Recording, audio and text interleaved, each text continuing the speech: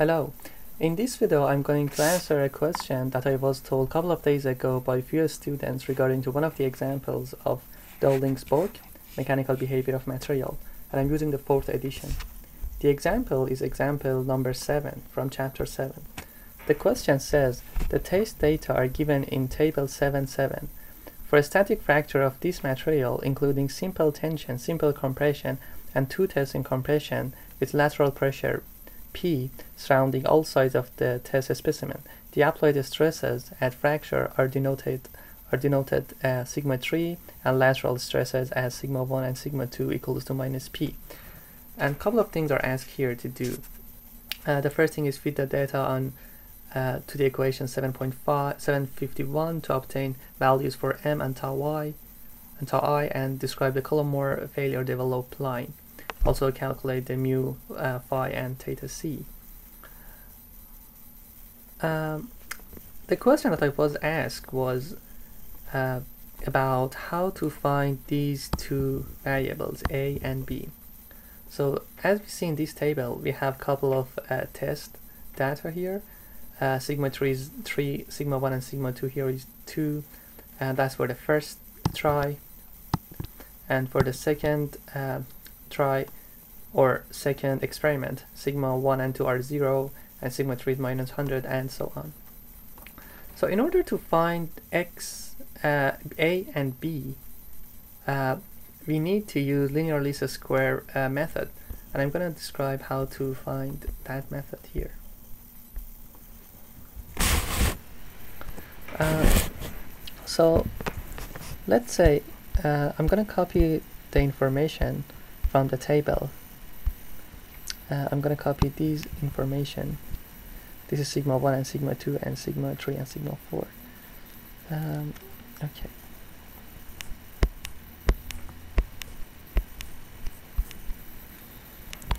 Sigma 1 is 0 sigma 3 is minus 100 sigma 1 is minus 100 sigma 3 is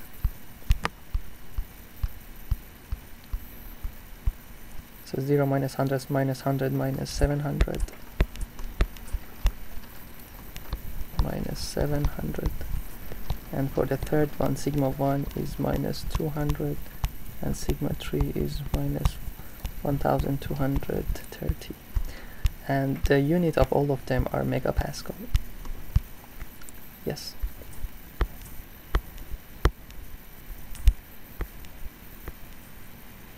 The equation that we have here is a x plus b equals to y.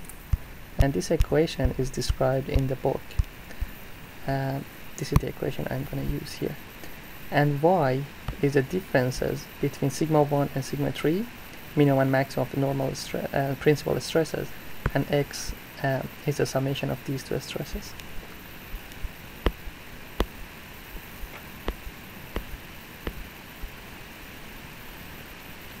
okay. Um, so all these points can fit into this equation. Uh, for the first one for the first case case 1 case 2 and case 3 I'm gonna note here y is absolute value of sigma 1 minus sigma 3 and x is sigma 1 plus sigma 3 So for the first case, um, y is equals to the differences between these two numbers, which is 100. And x is the summation of uh, these two numbers, which is minus 100. For case number 2, y is the difference, which is 600, and x is the summation which is 800 and finally for case number 3 y is the difference of these two numbers is 970 and x is the summation of these two numbers which is 1430 okay. So um, we said that this equation is valid for all these cases. So um, if I want to rewrite this set of data in a matrix form, I can say um, minus 100 minus 800 this number here 1.5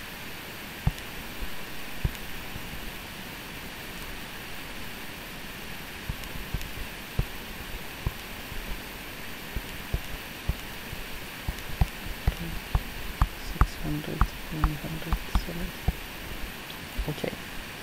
Uh, by saying that I'm saying for example for the first line minus 100x plus b equals to 100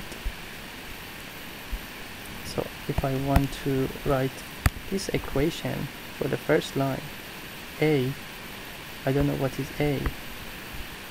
x is minus 100 minus 100 plus b I don't know how much is b equals to y, which is 100. Okay, so these two equations are, these two coefficients are uh, the coefficients that we're looking for. Uh, okay, so if I look at the matrix 4, I can rewrite the same thing based on this matrix 4 and this is val this is valid for all those three cases okay I'm gonna call this matrix matrix A gonna call this one my matrix Q and this is B. So A times Q equals B. Well, maybe I can use another name here because we have another B here. Um, I'm gonna say this is R.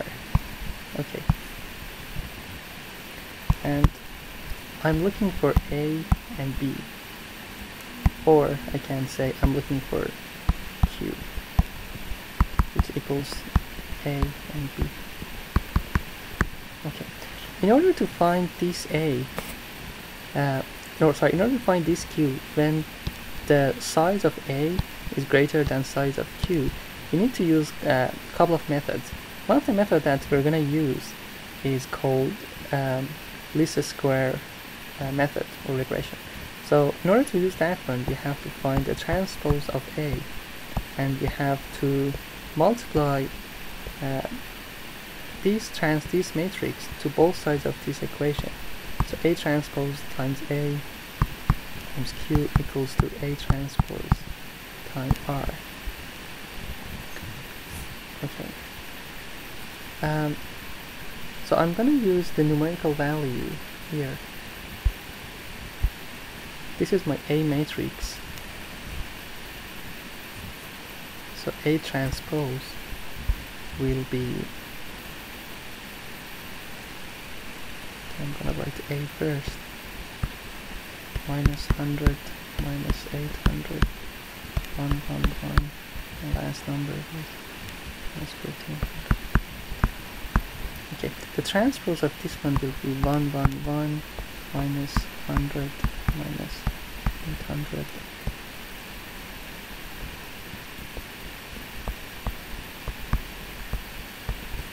minus 1330 okay uh, this times q equals to A transpose, same matrix 1 minus 100, 1 minus 800, and 1 minus 1430.